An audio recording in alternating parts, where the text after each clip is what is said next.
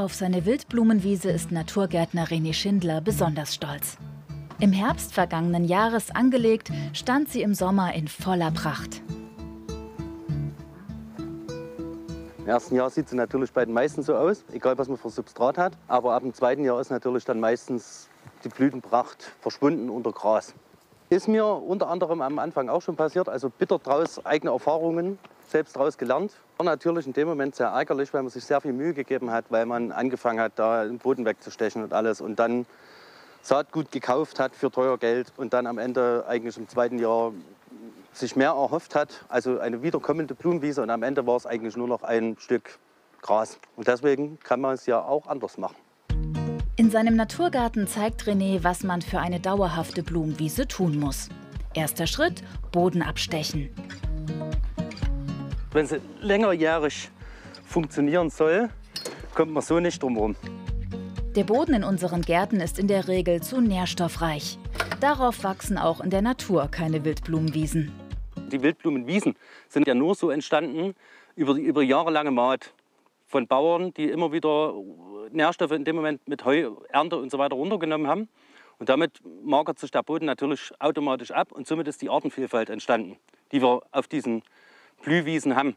Und die kann natürlich auf so einem Boden, der jetzt zum Beispiel am besten noch überdüngt ist und vor, oder vorher straff gedüngt wurde, kann die natürlich so gar nicht existieren, weil sich da massiv die Gräser durchsetzen dominant und die Wildblumen komplett verschwinden. Also abmagern. Zum Abmagern nutze ich in dem Moment Sand, um den Boden abzumagern. Man kann natürlich jetzt in dem Moment aus dem Baumarkt überall einen Spielsand nehmen oder den gewaschenen Sand. Der ist ja aber in dem Moment natürlich relativ preisintensiv.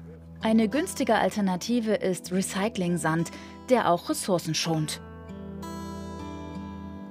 Das waren mal alte Ziegel. Die, die sind alle, wie gesagt, durch, durch den Häcksler. Jetzt sind sie halt nur noch Ziegelsand.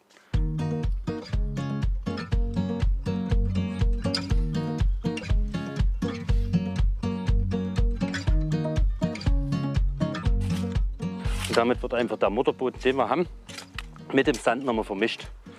Und damit haben wir dann künstlich sozusagen den Boden abgemagert. Nach dem Abmagern kann ausgesät werden.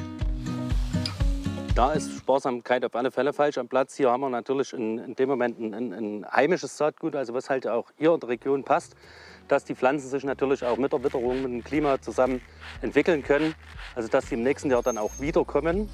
Viele Wildkräutersamen benötigen zum Keimen einen Kältereiz. Deswegen kann man auch gut im Herbst aussehen. So stehen die Chancen gut für eine mehrjährige Blumenwiese.